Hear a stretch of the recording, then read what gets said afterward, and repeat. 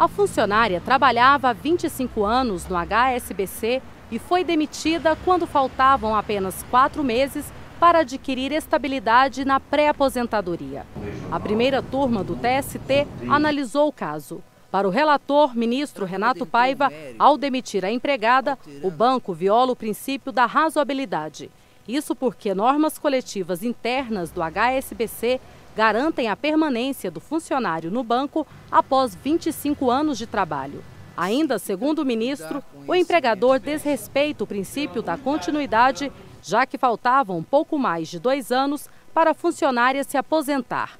Com isso, o banco terá que recontratar a empregada. Ela também vai receber indenização, além de salários reajustados e benefícios.